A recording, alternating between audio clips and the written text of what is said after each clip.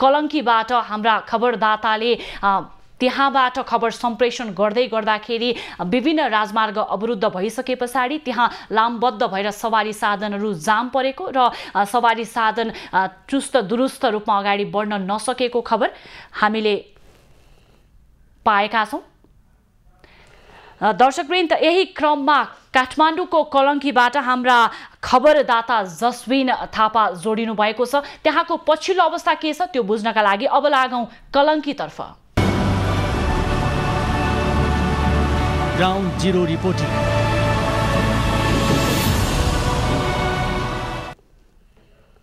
जसबिन देशैभरको जनजीवन हेर्ने हो भने अस्तव्यस्त छ। अझ भनौँ सडकको अवस्था दुरावस्था भएका कारणले अहिले विभिन्न ठाउँमा जाने सवारी साधनहरू बिच बाटोमै अलपत्र परिराखेको अवस्था छ। तपाईँ अहिले कलङ्कीमा हुनुहुन्छ। योभन्दा अगाडिको बुलेटिनमा पनि तपाईँसँग हामीले खबर सम्प्रेषण गऱ्यौँ। अहिले पछिल्लो अवस्था केही सुधार उन्मुख छ या त्यस्तै छ?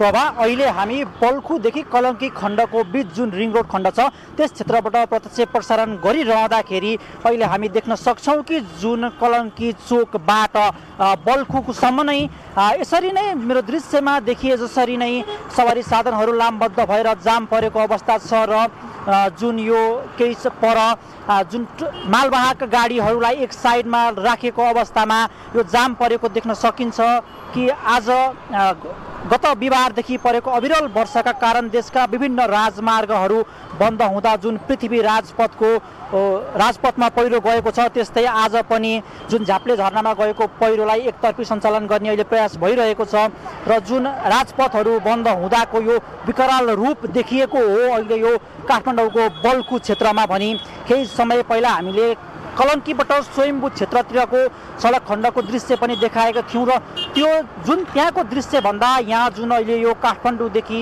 कलङ्कीदेखि बल्कुस सडक खण्डको अवस्था विकराल रूप लिएको छ भने यहाँ अहिले लगभग आधी घन्टा पछिको समयमा मात्र केही यो सवारी साधनहरूको अलिकति हल्का रूपमा जाम खुलेको अवस्था छ र यो पनि केही क्षणमा केही मिनटमा यो पनि ठप्प भएर फेरि यथास्थितिमा गाडीहरू रोकिने अवस्था छ। र हामीले दृश्यमा देख्न सक्छौँ कि केही सवारी साधनहरू फेरि त्यही सडकबाट युटर्न लिएर फिर्किने क्रम जारी छ भने यहाँनिर सयौँको सङ्ख्यामा सवारी साधनहरू जाममा बसिरहेका छन्। र केही साना दुई पाङ्रे सवारी साधन भने जुन यो सडकको बिच भाग मान्छे हिँड्ने पेटी छ त्यसबाट पनि केही समय पहिला दुई पाङ्रे सवारी साधन निकालिएको अवस्था थियो भने चार पाङ्रे सवारी साधन चाहिँ जुन रोडबाटै हिँड्नुपर्ने अवस्था भएको कारणले गर्दा पनि यो जाममा ब खेपिरहेको अवस्था छ। र जुन अहिले यो सडक खण्ड अवरुद्ध भइरहेको छ।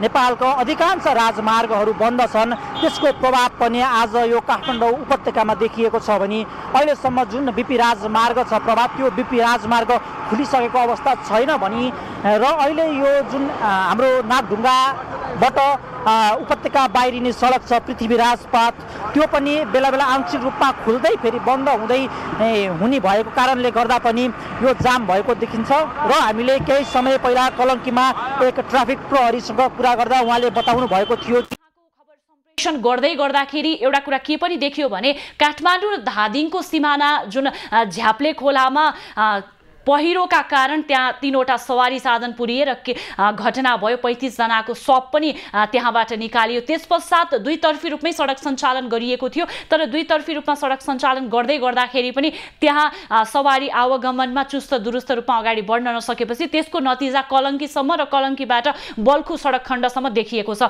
अब त्यसलाई कसरी व्यवस्थापन गर्दैछ? तपाईँले त्यहाँ ट्राफिक प्रहरीसँग केही कुराकानी गर्नुभयो? अप्रत्यक्ष रूपमा के छ?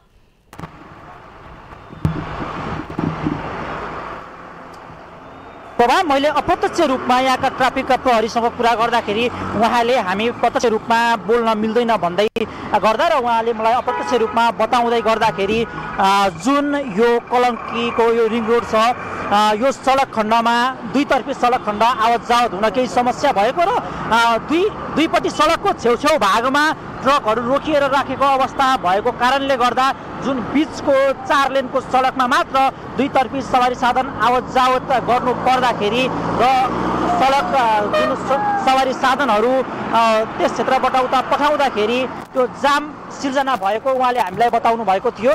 र यो भनेको जब यो जाम जुन छ यो जब त्यो झाप्ले खोलामा भइरहेको भएको पहिरो नहटुन्जेलसम्म अथवा जुन नागढुङ्गा हुँदै उपत्यका बाहिरिने सवारी साधनहरू जबसम्म बाहिरिँदैनन् तबसम्म यो जाम यस्तै रहने उहाँले हामीलाई बताउनु भएको थियो र कति बेला त्यो पहिरो खुल्छ यकिन अहिलेसम्म भएको छैन। उहाँ भन्नुभएको थियो उहाँले बताए अनुसार पहिरो कति बेला खुल्छ र कति बे कति समयमा यी सवारी साधनहरू चुस्त दुस्त रूपमा आवत जावत गर्न सक्छन् भन्ने यकिन अहिलेसम्म प्रष्ट नभइसकेको अवस्था छ प्रभा। जसमिन कुन कुन ठाउँमा पहिरो गएको छ फेरि पनि पहिरो गएको खबर हामीले पनि सम्प्रेषण गरेका थियौँ। हुन त दुईतर्फी रूपमा सडक सञ्चालन भए तापनि सडकको अवस्थाले गर्दाखेरि जुन स्पिड वा जुन गतिले चाहिँ सवारी साधन हिँड्नुपर्ने हो आफ्नो गन्तव्यतर्फ लाग्नुपर्ने हो त्यो अवस्था त पक्कै पनि छैन। त्यो कारणले पनि सडकमा चाहिँ धेरै सवारी साधन पनि हुने भए अर्कोतर्फ चाहिँ यता यो कलङ्कीबाट बल्खुतर्फ आउने अन्य स्थाना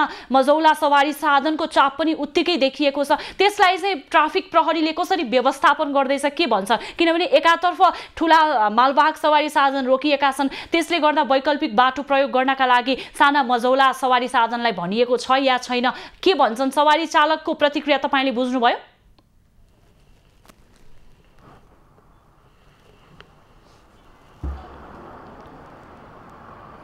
प्रभा केही समय पहिला हामीले सवारी चालकसँग पनि कुराकानी गरेका थियौँ कि सबै सवारी चालकको गुनासो एउटै मात्र छ कि जुन ठुला सवारी साधन जुन ठुला सवारी चालक आठ पाङ्रे बाह्र चक्के जुन ट्रकका चालक र सहचालक छन् उनीहरूको गुनासो भनेको न उनीहरूलाई उचित सरकारले राहत दियो न त खानको टुङ्गो छ न त बस्नको टुङ्गो छ न त यस जुन पार्किङ गरिरहेका ट्रकहरू छन् त्यस वरिपरि न त शौचालयको राम्रो व्यवस्था छ भनेर सबैको गुनासो यही आइरहेको थियो भने जुन काठमाडौँ भित्र मात्रै उपत्यकाभित्र मात्रै कुद्ने मजौला सवारी साधन र जुन सार्वजनिक यातायात छन् उनीहरू भने यो जाममा परेको शास्तिले उनीहरूको जनजीवन पनि प्रभावित भएको छ भने यहाँनिर घन्टौँ जाम पर्नुपर्ने अवस्था छ र हामी केही समय पहिला स्तरगत रिपोर्टिङ यस क्षेत्रमा गर्न आइरहँदा केही सार्वजनिक यातायात भने बल्खुबाट युटर्न लिएर पूर्ण साध्य बाटोतर्फ फर्किएको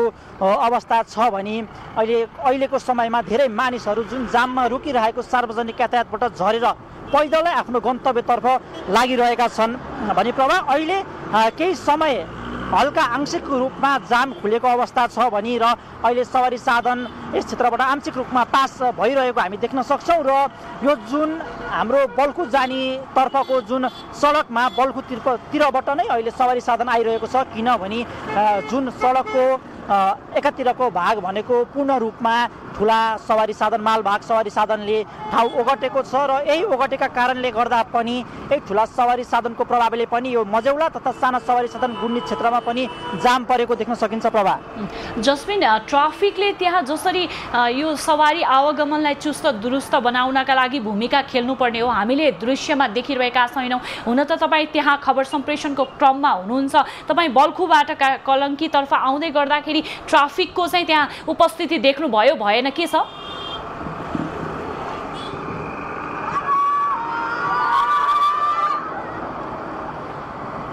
प्रभा अहिले हामी जुन बल्खु र कलङ्की सडक खण्डको बिच भाग अथवा जुन ठाउँमा एउटा सीता पेट्रोल पम्प छ त्यो पेट्रोल पम्पको ठिक अगाडिपट्टि बसेर हामी अहिले प्रत्यक्ष प्रसारण गरिरहेका छौँ भने हामीले ट्राफिक प्रहरीको उपस्थिति बल्खु बल्खु जुन कृतिपुर जाने साइड छ त्यो बल्खु क्षेत्र र जुन कलङ्की खसी बजार चोक छ त्यस क्षेत्रमा ट्राफिकको उपस्थिति छ भने जुन यो बिच क्षेत्र छ यो बिच क्षेत्रमा कतै पनि ट्राफिकको उपस्थिति भने हामीले देखेका छैनौँ। किनभने सायद यो बिच क्षेत्रबाट अन्यत्र कतै निक्लिने ठाउँ नभएका कारणले गर्दा पनि होला यस बिच क्षेत्रमा ट्राफिकको उपस्थिति न नभएको र जुन बल्खु क्षेत्र छ कृतिपुर जाने क्षेत्र जुन कृतिपुर जाने चोकमा भने ट्राफिक प्रहरी उभिएर जुन सवारी साधनलाई गाइड गरिरहेको छ भने खसी बजारमा पनि बसेर जुन मजौला र तथा यहाँका जुन काठमाडौँ उपत्यका भित्री सार्वजनिक यातायात छन् उनीहरूलाई छुट्टै रुटतर्फ पठाएर मालबाग सवारी साधनलाई एकातर्फ रोकेर राखिरहेको अवस्था छ र यहाँ देख्न सक्छौँ पैदल यात्रीको हकमा चाहिँ के छ किनभने अघिदेखि नै हामीले दृश्यमा देखिरहेका छौँ एकजना स्कुलबाट फर्कँदै गरेकी बालिका बाटो क्रस गर्न नसकेर त्यहाँ उभिराखेको अवस्था पनि छ त्यसमा ट्राफिक पनि छैन र सवारी आवागमनको चापलाई मध्यनजर गर्दै ती बालिका त्यहाँबाट सडक पार गर्न सकिराखेको अवस्था पनि छैन त्यो तपाईँले त्यहाँबाट दृश्यलाई अवलोकन गर्दै गर्दाखेरि यो दृश्य हुन त प्रतिनिधि उदाहरण मात्रै हुन सक्ला तर कसरी हामीले विश्लेषण गर्ने किनभने त्यहाँ सवारी आवागमनको चापलाई हेर्ने हो भने सडक पार गर्नका लागि निकै समय लाग्ला जस्तो पनि देखिएको छ। त्यो पनि एउटा विषयलाई चाहिँ हुन सक्ला। यो विश्लेषण गरिदिनुहोस् न किनभने त्यो सवारी आवागमनको चाप हेर्दै गर्दा ती बालिकाले बाटो क्रस गर्ने क्षमता राख्न नसक्लिन् जस्तो पनि छ। तपाईँले पनि त्यहाँ सहयोग गरिदिनु होला र त्यो एकचोटि त्यो कुरालाई पनि विश्लेषण गरिदिनुहोस् न।